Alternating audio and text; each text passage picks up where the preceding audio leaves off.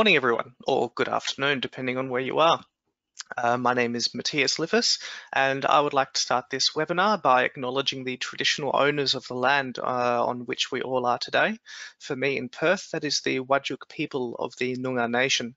And I would like to pay my respects to the elders past and present. And I'd like to extend that respect to the traditional owners of the lands uh, on which you are this morning oh this afternoon sorry um, so this is the third q&a webinar uh, out of four for our fair data 101 express course and today we'll be focusing specifically on interoperability now today we have uh, two excellent speakers, very, very knowledgeable. Uh, we have Rowan Brownlee and Catherine Brady. And uh, as in previous sessions, they'll be giving a bit of a story about some of the work they've been doing, and then we'll be able to get into the Q&A itself. Uh, now, as with previous sessions, uh, in your uh, GoToWebinar window, which is hopefully on the right of your screen, there is a little questions module where you can type your questions in. You can type your questions in at any time, and then when we get to that Q&A session, I will be pointing those questions uh, at Catherine, Rowan, myself. Um, okay, I don't think there's much need to delay. I don't think there's anything else to cover, so we'll get right into it. So I'd like to introduce my first speaker, uh, Rowan Brownlee. Uh, so he not only works at the Australian Research Data Commons, but he is also quite heavily involved in the Australian Vocabulary Special Interest Group. Uh, over to you, Rowan. Thanks, thanks, Matthias, and welcome everyone. While uh, I've got a few slides that I'll go through, and while I'm going through these, I'll switch off my video and then I'll come back in after the presentations. So I understand that you've discussed the use of vocabularies to support data interoperability but if in the one subject domain you have choices between separate vocabularies, how do you decide which one to choose? Faced with semantically overlapping vocabularies, how do you make an informed choice? And if you choose a vocabulary, how do you know that it's fit for purpose, backed by the research community that you want to work with, and that the vocabulary will be managed and maintained over time? Next slide. Thanks, Matthias. I'll talk about this issue in relation to one example research domain, that of earth and environmental sciences. These are some organisations involved in earth and environmental sciences, a mix of Australian and overseas organisations. And each of these organisations publishes vocabularies in the ARDC Vocabulary Service. Next slide. Thanks, Matthias. As more vocabularies are contributed to the service, users have reported uncertainty in making selections when faced with semantically similar or overlapping vocabularies. They express concern about making the wrong choice and want guidance to make informed choices. They want the vocabulary publishing portal to provide a community lens a domain view of their community's vocabularies, explaining which vocabularies to use for particular purposes. In this example, over on the right-hand side, an extract of results for searching on a concept titled borehole. In this example, four vocabularies, four separate vocabularies are returned, each containing a concept for borehole. So how is the user to know which vocabulary to use for their particular purpose? Next slide, thanks Matthias. Vocabulary users want guidance, but how does ARDC get the information needed to make recommendations about particular vocabularies? How does ARDC know which vocabulary to recommend for use for a particular purpose? One approach is to work with research communities themselves. In particular, working with those who have an interest or expertise in informatics. And one such attempt involves working with the National Earth and Environmental Sciences Facilities Forum, otherwise known as NESEF. NESEF provides a means for earth and environmental science research facilities to periodically meet up to discuss issues of common interest. NESIF member organisations have links to related organisations within Australia and across the globe, and they have an interest in encouraging uptake of community standards. So some good starting points interest in informatics, understanding of the importance of using shared standards, and relationships to like organisations here and overseas. And so we're aiming to work with NESIF to benefit from their domain expertise, to gather information to improve the documentation and presentation of information about vocabularies, to help users make informed choices, to answer questions like, which vocabularies address a common need or purpose? If I choose this vocabulary, how can I tell if it's well-governed, trustworthy, authoritative? And so you might consider NESIF as an important element of research data infrastructure that offers a level of social interoperability, communication, common interest, social interoperability in support of technical and semantic interoperability, and if this approach is successful, ARDC will seek to explore its applicability to other domains. Thanks, Matthias. That's it. Great. Thank you very much for that, Rowan, uh, and, and for that uh, insight as to how we get domain-specific expertise contributing to our vocabulary service. Uh, so next up, uh, I would like to introduce Catherine Brady. Uh, Catherine Brady also works for the ARDC in our Data and Services Division. Over to you, Catherine. Thanks, Matthias. Um, as Matthias said, I work in the Data and Services area. I'm the Program Manager for the Australian Data Partnerships Program that sits under what we're calling our National Data Initiative. Um, now, I just I wanted to talk you through a story um, from one of the projects that we ran with last year. Uh, we um, we the ARDC co-invested in something called uh, our data and services discovery projects in 2019, the, the last half of 2019. And they were small, um, short exploratory projects that were conducted in a limited time frame. And one of these uh, that I'm going to talk to you about today, just to give you a bit of uh, like a real life example, was um, the Australian Brain Data Commons, so the ABDC, nice acronym, which was led by the Australian Brain Alliance, and that was under the auspices of the Australian Academy of Science. So some big players there. Now their aim was to use a consultative approach to determine requirements for uh, what they called a coordinated and internationally compatible national brain science data framework. And they also wanted to educate their neuroscience community on how to reuse their data for maximum benefit and to promote data sharing standards across that sector in Australia. So they assembled a working group of stakeholders uh, that represented a range of disciplines in the neurosciences and across the private sector. So who thinks this is sounding a bit like uh, might be a bit of an interoperability challenge already, right? So what um, what problems did they have in this sector? I mean, it, it's actually this is quite a good example. So um, brain data commons that sounds like quite you know a homogenous sort of discipline, but it's actually quite um, a broad spectrum of methods and data um, across a range of subdisciplines in the neurosciences. So when you're thinking about neurosciences, it's the it could be psychology data or data coming out of the cognitive neurosciences. There's animal behavior data. There's data that comes from MRIs and PET scans and molecular imaging. And there's microscopy data, um, as well as uh, molecular neuroscience data, there's electrophysiology and calcium imaging. Um, they also collect neurogenomics and clinical data um, and computational neuroscience, AI and machine learning data.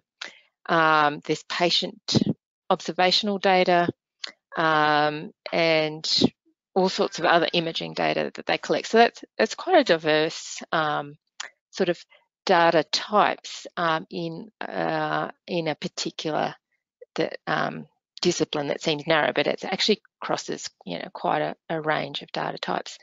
And what they had was um, no clear standards within or across those subdisciplines, and that's not surprising really, because um, partly that those disciplines, you know, from psychology to um, the calcium imaging in a cell, uh, is is you know that's quite different things, and it de can depend on the type of equipment and software you use to acquire that data as well. Um, obviously, you know that if you're getting something off a PET imaging kind of machine, um, that's the the machine you're getting it off is going to determine that, that the data that uh, types that you're collecting. Now, what they found as well, um, that there were real and perceived barriers to data sharing in their community. Um, there was a lack of appropriate sharing solutions. There was a lack of appropriate technical and other resources. There were legal and ethical concerns around the data, and obviously a lot of it's sensitive clinical data. And there were concerns about the data ownership and they found that software platform, platforms did exist, but they weren't always user friendly enough and they weren't always adapted to cope with the different types of data in neuroscience. So what they did was um, convened some workshops around the country to discuss and build consensus around identifying the infrastructure, the technical and human resources and the culture required to develop a neuroscience data sharing standard that met the FAIR principles. Now, it's really interesting, I think, that they included culture here and very insightful of them because when you think about interoperability, you're probably thinking about technical challenges and solutions to the problem that are technical. And perhaps you're thinking around technical infrastructure and metadata and data standards and uh, exchange standards for that data. But these guys identified culture as one of the important things they had to work on in their community if they were ever going to achieve FAIR. And they started this process by bringing their community together, talking, asking them what would they need to do, to, what would they need to make happen to make their data more fair. And not just that, what were the perceived barriers? Where was the incentive? What was the return on investment? What were the social, social or discipline norms in the sector? And how can we make it easier to participate? So in this case, interoperability started out with getting the right people around the table, a, just a conversation, acknowledging those shared problems and getting agreement on a way forward, a shared vision of what interoperability might look like for the Australian Brain Data Commons, if you like. So acknowledging what is common, what's different, what standards and infrastructure exist already and what can be built on and what needs to be started from scratch and working out what would be fit for their purpose if the goal was a national brain science data framework. So I don't really have an ending for this story. The project ended at the point where um, they did achieve some consensus around a way forward for the Australian Brain Data Commons, that it was a feasible idea and more exploratory work had to be done. And we'll be following up with them again in time to see how they've gone with that. But I think they made a really good start. Um, at the ground floor on um, getting the culture right and getting the people on board in order that interoperability um, might be achieved and might flow from the work that they've put in place um, by sort of starting, I think, from the right, putting a framework in place and and um, yeah, putting that that groundwork down and not just approaching it from a technical solution point of view that sort of goes over the top of everything else. So um, on the basis of the success of uh, the, the, discovery projects, of which the Australian Brain Data Commons was one of those, we've launched a larger program in the same vein. Um, it's called the National Data Assets Initiative. Um, underpinning this initiative, we've got the principle that collections of research data can be national infrastructure when they support leading edge research in a national in scale. So that's what that initiative is about. That's what a national data asset is. Um, from where we're looking. Um, and what we've done is um, building on the back of those discovery projects, we've made sure that the FAIR principles, including interoperability, are an important component of the projects we intend to co-invest with under the auspices of this program. And all of our projects are being asked to sign up to the FAIR data principles and explore what it would be like to make these collections more fair. And um, they'll be learning from those early um, experiences of the of the projects and the groups that did that early work uh, last year in the discovery projects um, with uh, how they went about um, getting their community to uh, look at the you know various data and what how they might achieve FAIR and how they might work towards interoperability. So I think we had um, some really good lessons there and some things that people can pick up with going forward in our National Data Assets Initiative and the Australian Data Partnerships Program, which um, I'm program managing. So that's it from me as a little story. Great, thank you very much for that, Catherine. Uh, Mm-hmm. and I, actually, I'm just gonna stop sharing my screen for this Q&A session. Uh, now, we haven't got any questions just yet, so uh, please, if you do have a question for uh, Catherine or Rowan, or you have some questions about the webinars for me, uh, please pop them into the uh, question box and we will get those answered. Now, Catherine and Rowan, what I noticed there is that both of you talked about the need to for communities to work together or for, for consultation to help underpin interoperability work. Uh, now, perhaps a bit of a left field question, but have either of you observed a situation where an attempt at interoperability has failed because there was no community consultation or no real uh, community involvement? It's a good question. Go, Rowan. Just thinking of how that would, how would it happen? Who would be the groups that would be seeking some level of interoperability independent of uh, the community or the people in their particular group? That's uh, I don't think I've I haven't had that. If that's what you're asking about, Matthias, I haven't. Uh, Yep. I Oh, I, I suppose it, experience. I suppose it could be more seen as maybe somebody thinks that uh, something will help interoperability, so they propose a standard or develop something, uh, but because there was no community involvement, it never was never really adopted. Uh, nobody really went along with it. I'm sure there probably are plenty of examples of exactly that, but um, nothing concrete that um, comes to mind immediately, Matthias. But um, mean, I think from the, the stories we've uh, we've just sort of related there, um, that would be um, sort of a likely outcome, and I'm sure that has certainly happened across uh, many initiatives. Perhaps we don't hear about them because no one likes to really talk about the things that go wrong and fail.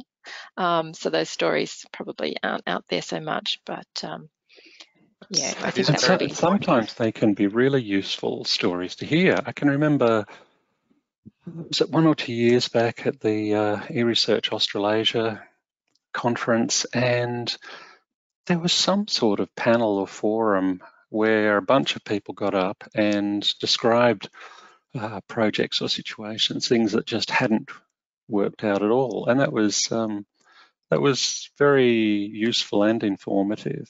And in areas like uh, health and medicine at hospitals and things, they have um, uh, morbidity uh, conferences or analysis. Uh, something terrible happens and everyone gets around and discusses it in order to uh, learn what happened and why it happened. Maybe more of that approach could be uh, brought into our area.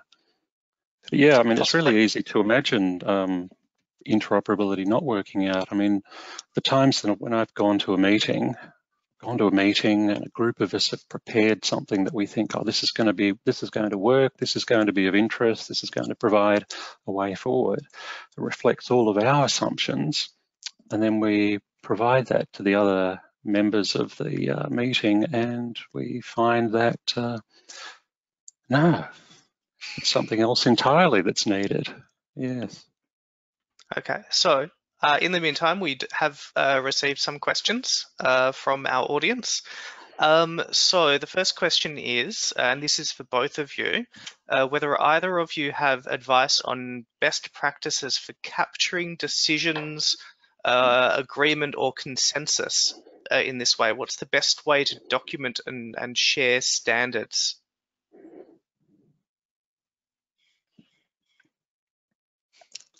Mm. I haven't seen an example of any one that I would promote that um, you would necessarily follow. Again, it would probably depend on the context and the discipline. There might be some. I know in medical and health, there's um, there are some. I think there may be. No, I might be wrong, but something called the Delphi uh, principles or guide. And I know some of our projects were using that to structure how uh, in our discovery projects how they went about seeking some of um, that consensus. That not might not be all of um, the way you document, but they looked to their sector and their discipline for, or internationally for um, a kind of robust process, I guess, and of bringing stakeholders together and perhaps maybe part of that would be documentation. Um, but I'm not aware of particular others or something that's generic. Uh, yes, and and certainly I've um, I feel like this is can be a very um, community specific thing as well. Uh, so I mean, one of my favorite things to say to people asking any kind of data question is, oh, just check what is the, the standard or the norm in your discipline, which isn't very helpful. Um, and, and I suppose that's where people then have to go, oh, well, how does my community uh, determine this? Um, but I, I, have attended uh, workshops and seminars where people have been brought together to try and work on you know, agreeing on standards or agreeing to move on a way forward. Uh, okay, in um, here's another question. Uh, possibly, this is a vocabulary question. Are there any examples of parallel coexisting vocabularies in a particular field that have a crosswalk built between them? Sometimes that does happen. I'm aware of examples in agriculture I'm pretty sure that AGROVOC has mappings from concepts within that vocabulary to like or similar concepts in other vocabularies. And this can be a way of helping to bring different, well, data that's associated with different vocabularies can be a way of helping to take a step toward bringing that data together by expressing relationships at the level of the concept. These might be direct relationships from the concept in one vocabulary to a like concept in another vocabulary. Or another approach is to express relationships between a number of vocabularies up to a what might be described as a backbone or a pivot vocabulary or an upper level vocabulary.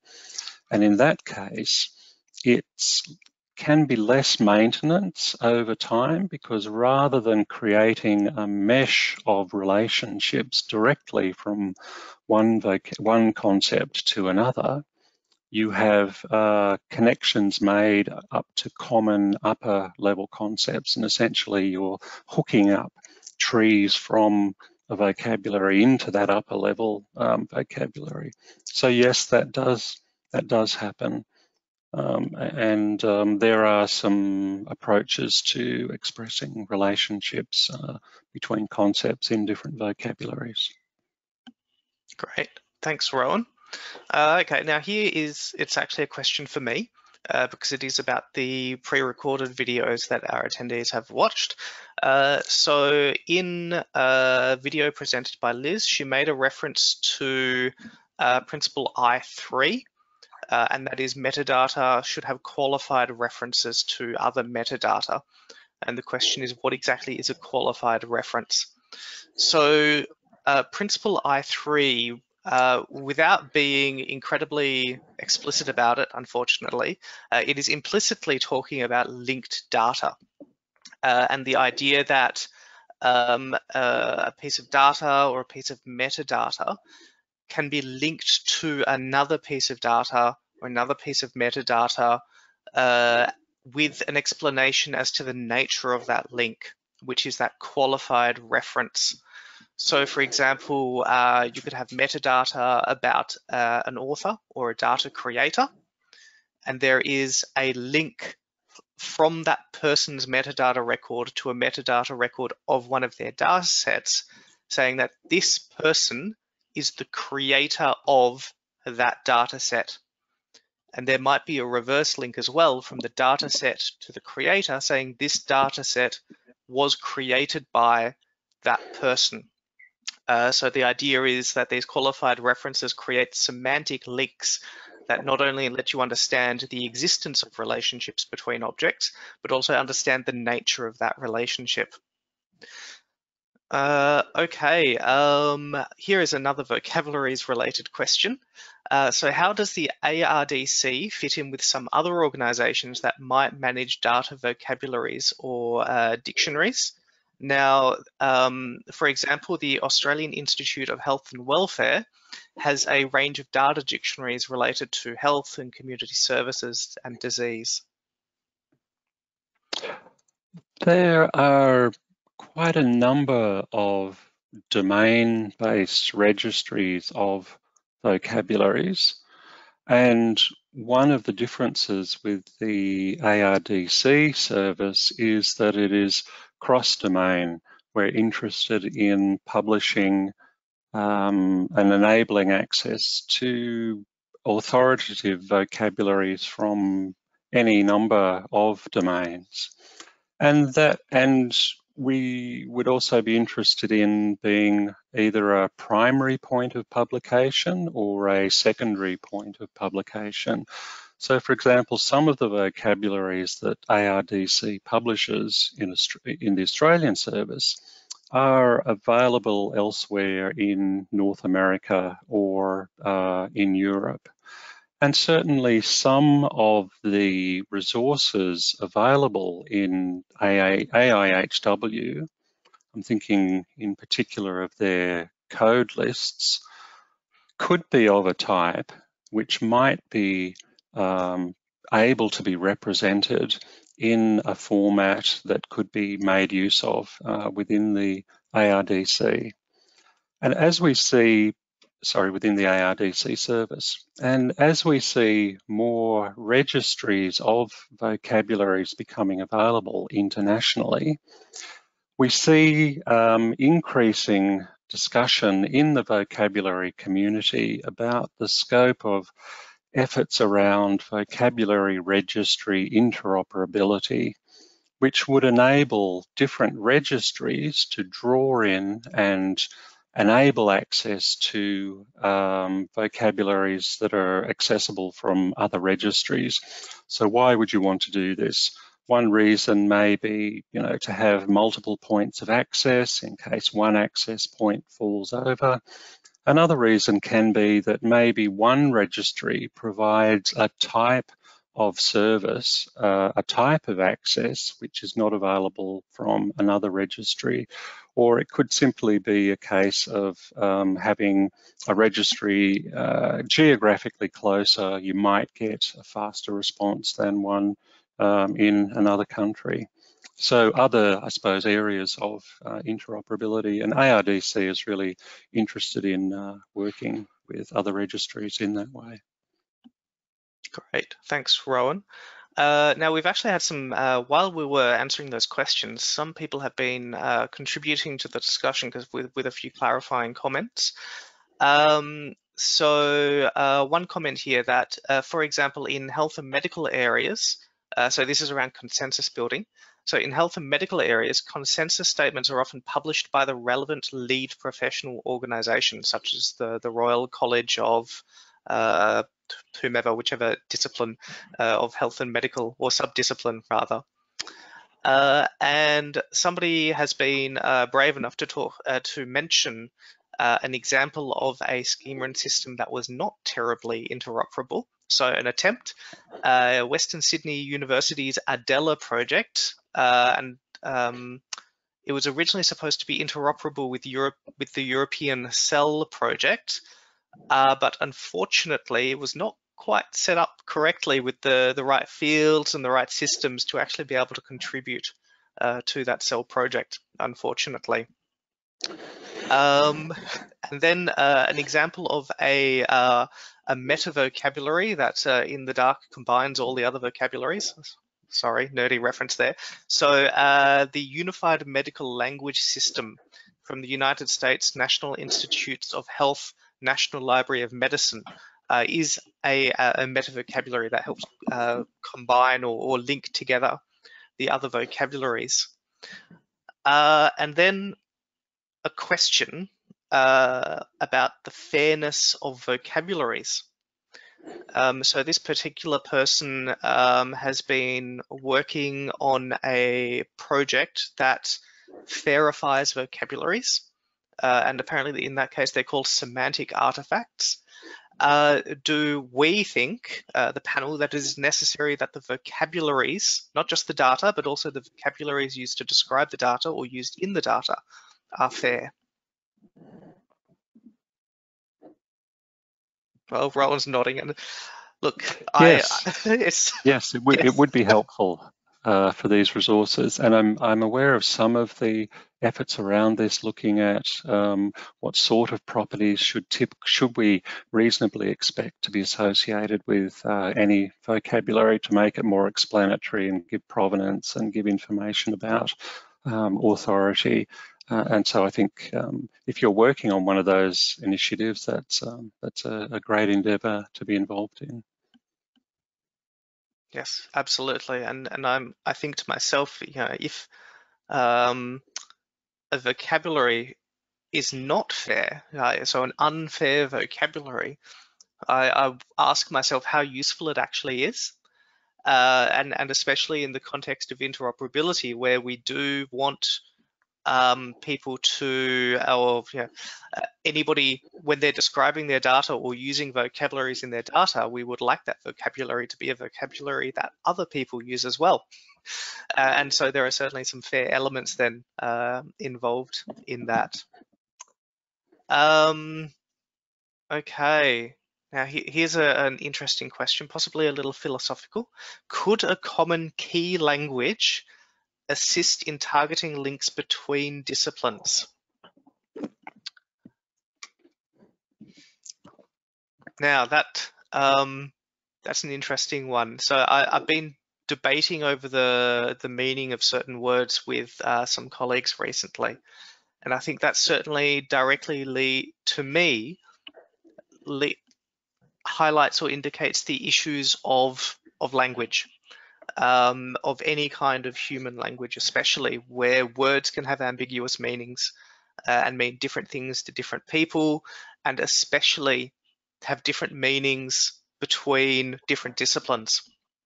Um, so, I mean, uh, from from my point of view, I think one of the biggest misunderstood words uh, is the word theory, which, when you use in science, theory a theory is considered essentially to be fact.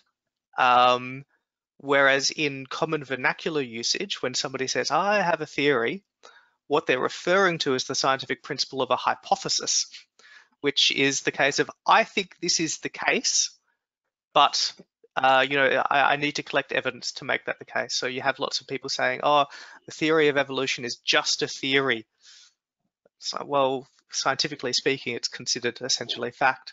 Uh, and then, but even then between disciplines, uh, there are different meanings uh, for the same words. So if you ask a librarian what a database is, uh, you're likely to get a completely different answer to uh, if you ask a computer scientist what a database is. Uh, I mean, there is some commonality between the two, um, but they are, um, I think there's enough difference between the meanings to possibly cause confusion if you throw the word database into a document without a little bit of clarification as to exactly what kind of database you're talking about. Uh, although Rowan, you're the vocabularies guy, you probably have um, a few more thoughts about this than I do. I was, I was going to ask you about what, I, I'm not familiar with the terminology of a common key language. What's that about? Um, well, I sorry, I I understood there to be a, a comma in there. So uh, could a common comma key oh, language assist in targeting links as opposed to a common key language? Oh. Um, now, sorry, if the uh, if the person who asked that question um, could uh, let us know if a common key language is a thing, uh, that would be great. Um, and here is uh, our, our, last question that's come up so far. Uh, what is the difference between a vocabulary and a terminology? It sounds like one for Catherine. Just Look, there, are there are probably some there are probably some definitions around it. I suppose the terminology about what these things are is itself overloaded. And one person's terminology can be another person's vocabulary. This came up recently again in discussion around health and medical services. There's a national vocabulary service, the National Clinical Terminology Service, and they provide access to a major um, health medicine uh, vocabulary called SNOMED. And they refer to SNOMED as a uh, terminology and it's provided through a terminology service.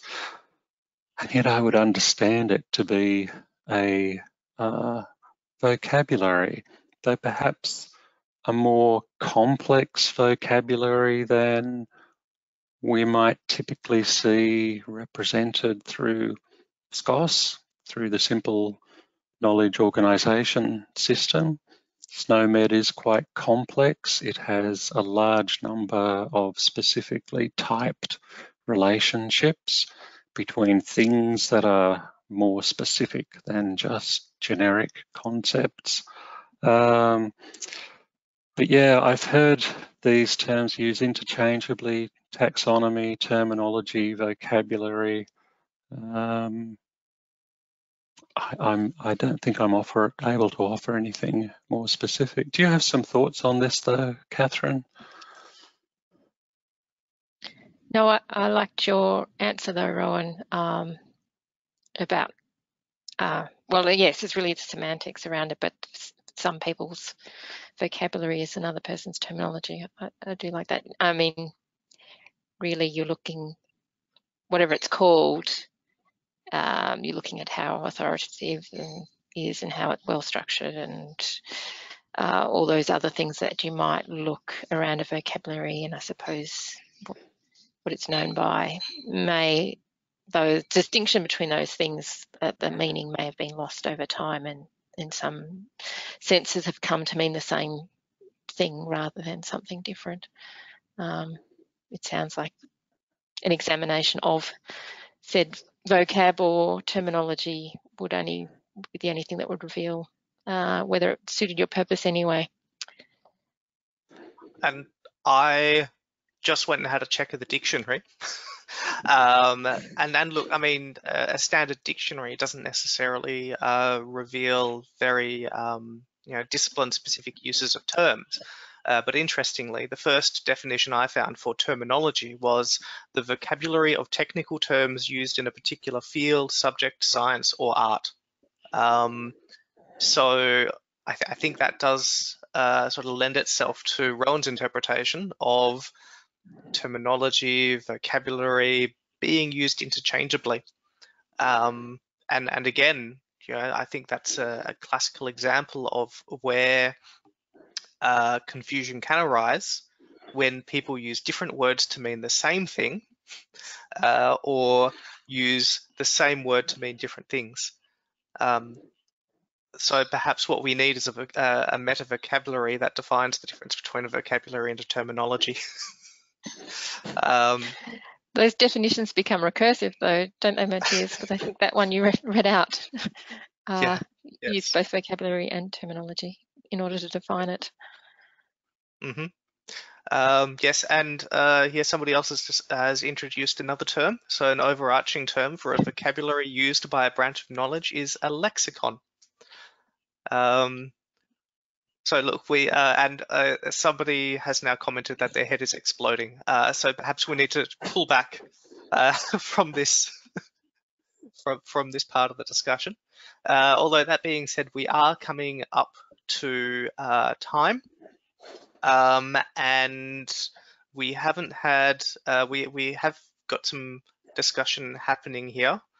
Um, and in fact, uh, here's a reference to NKOS, uh, Networking Knowledge Organization Systems. And I believe that's being raised as an example of something that does help define knowledge systems and or rather knowledge organization systems, uh, which uh, yes, we, we could talk about all day, but we won't. So um, in our final moments, uh, so unless any more questions come up, I'll, I'll start the wrap up of this session.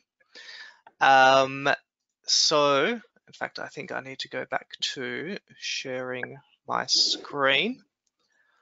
Uh, so if uh, anyone doing the course has any um, particular technical issues with accessing the quiz, um, with doing the, um, the, the, activities, um, please uh, either contact Nicola Burton directly or bring them up in the Slack. Uh, maybe you'd like to discuss one of the activities.